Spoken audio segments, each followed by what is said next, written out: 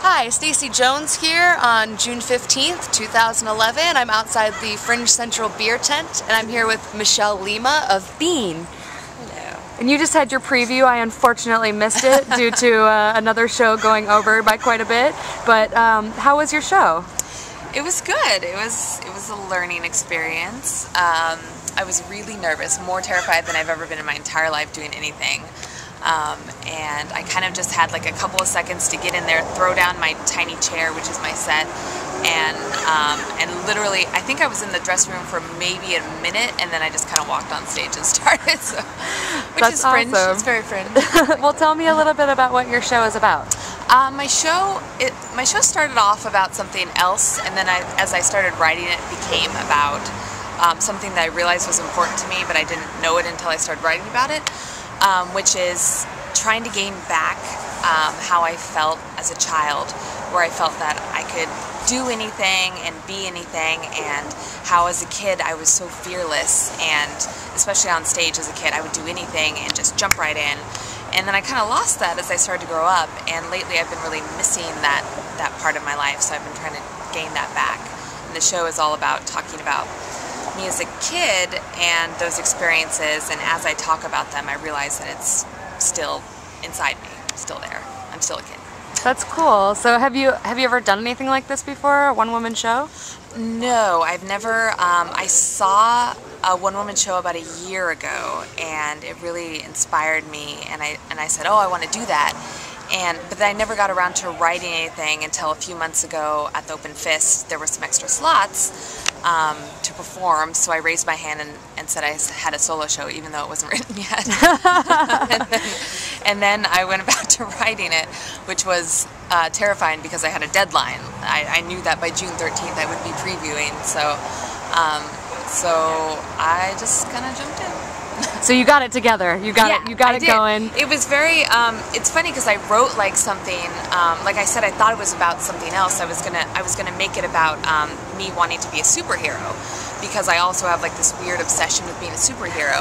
but then I realized that that was actually my my desire to like be a kid and have that like superhero quality about me. So so then I rewrote the script completely um, a few weeks ago, and um, so yeah, it was very. It was sort of like jump off the boat um, on the 13th because I'd never said all the words together at once to anyone uh, before until the preview. So. That's great. That's great. Well, that's what Fringe is all about. So, Yeah. uh, when can people come to see your show? Um, the next performance is June uh, 18th, the night of, at midnight. And then there's another midnight show the night of June 24th, which is a Friday. And then the final show is June 25th at 4 p.m., all at the Open Fist Theater.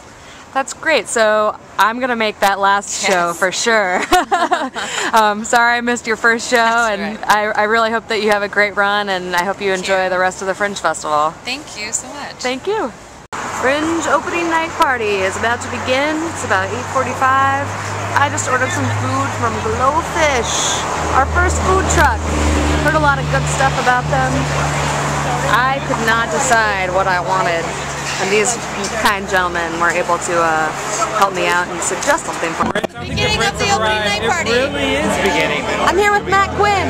Oh, hey, how are you? he's the venue manager To of the Theater Fringe. Asylum. Woohoo! He's Very drinking. excited. There's already stuff happening on the stage. Very nice music, by the way. It's only like 15 after 9 right now.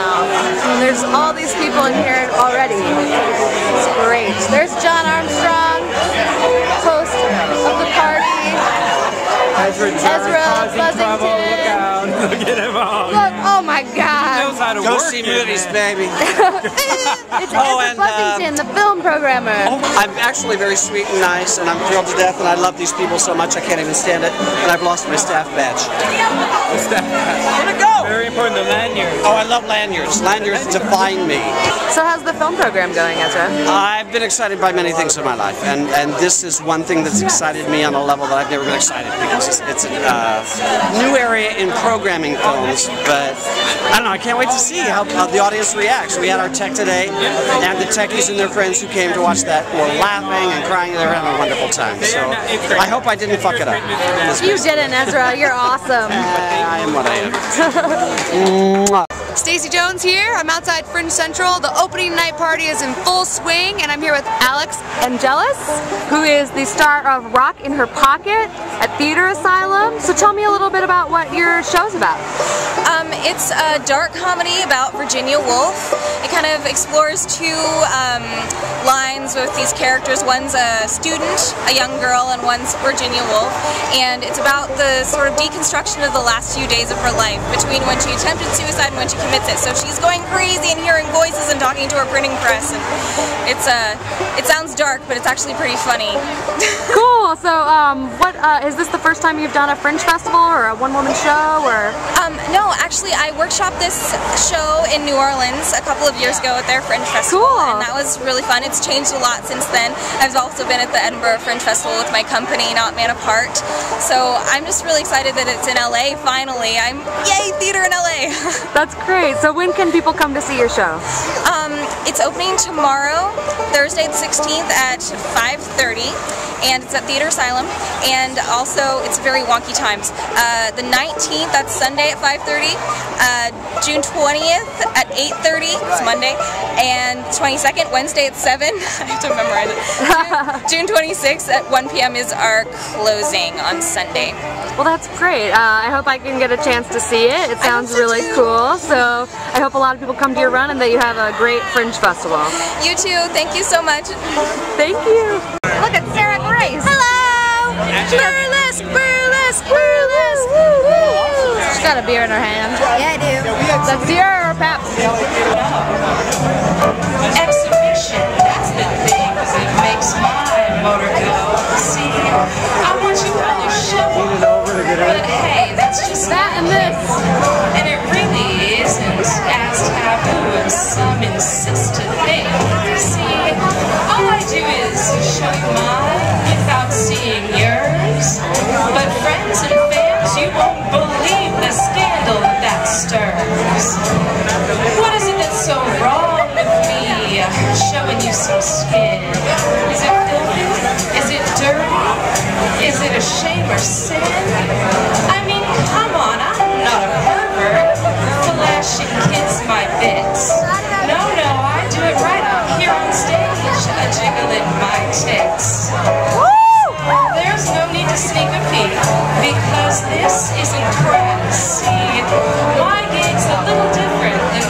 See your plumber's ass. I know, enough explaining, doll. You're getting me all stressed. Made with the stripping, sugar tits. You're way too overdressed. So first I'll take one glove off just to tease you girls and boys. Now, if you like the sound of that, well, make a little noise.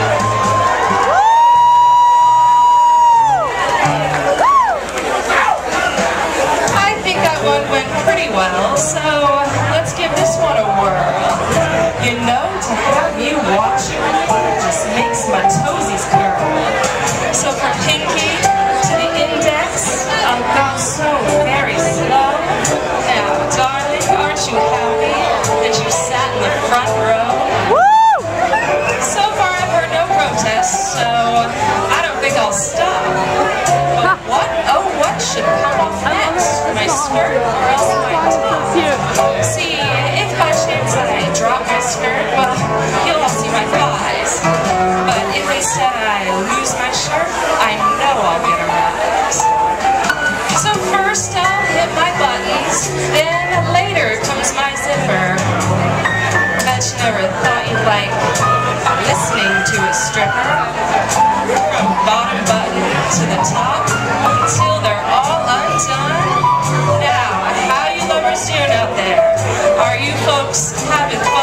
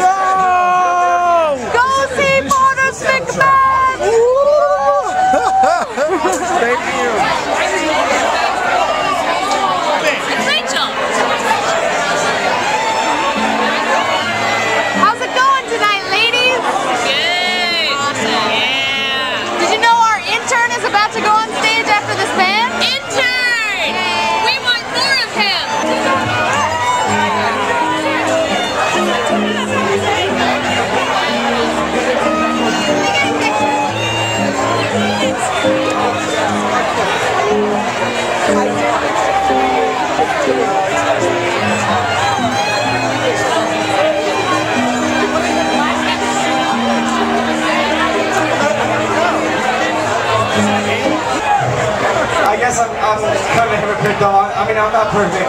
I have to admit that. Like sometimes, if no one's looking, I'll poop in the handicapped, um, oh, what's it called? Uh, yeah, parking spaces. Yeah, yeah, I'll poop in those. I know I shouldn't. So uh, I, I took the highway to get here tonight to do this, and um, I saw one of those adopt a highway signs, and I thought, oh, that's sad, but it was a lot, lot more depressing as I thought about how often I see those signs. It's like just, just once I want to see a highway raised by its loving biological parents.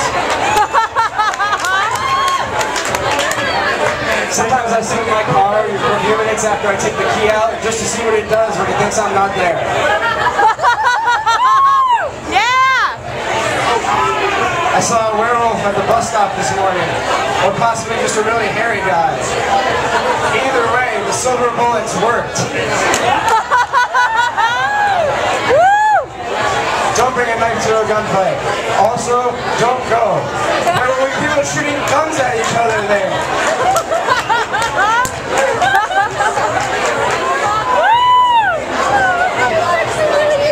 I just realized that books are just different combinations of the same 26 letters over and over again. It's outrageous.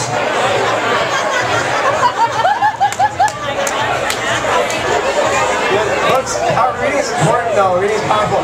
Reading can take you anywhere you want to go, as long as you want to go exactly where you are. If I was going to be stranded on a deserted island with any book, I'd want it to be a giant pop-up book about tents. Yeah, Flint!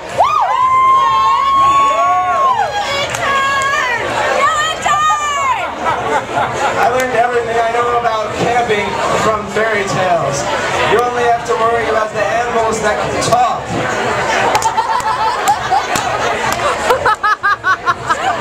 If only I can prevent forest fires, I guess that explains all the forest fires.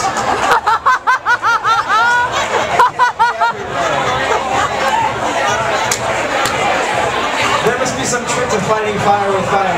Because when I tried it, my kitchen just had twice as much fire in it.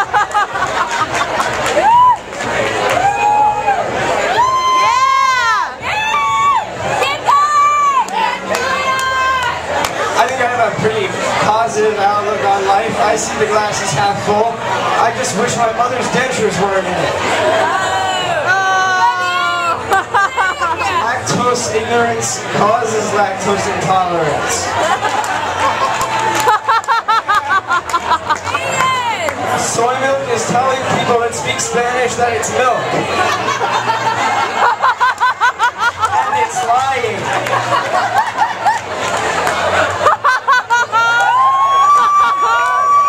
Yeah! People are so rude nowadays. I was in the bookstore the other day, I stared at this girl for like 20 minutes and she didn't even acknowledge me.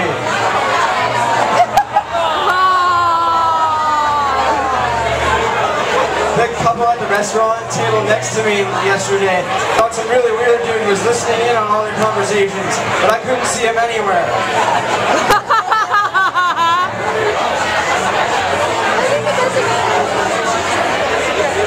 Play practical jokes on people sometimes. Like when I'm in the grocery store, I'll play this game where you take one thing from the cart that's in front of you at the checkout line and see if people notice. Last week, I took a baby. Kidnapping is pretty easy. It's like giving candy to a baby. I mean, that would be horrible. We would never, ever I let don't somebody want to under learn karate, but I really need a new pal.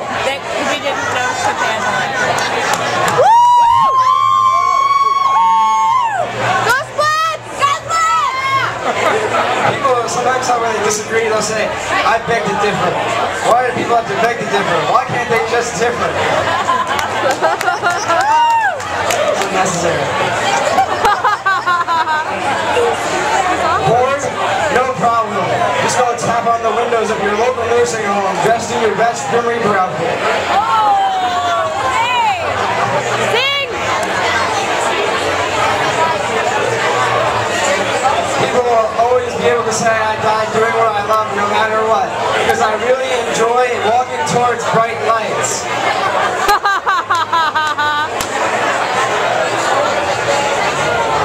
You wouldn't believe how many times Da Vinci had to paint the Mona Lisa before he finally got one where she wasn't blinking. Next time I try to spy on someone from behind a painting on the wall, I'm going to use a portrait instead of a landscape.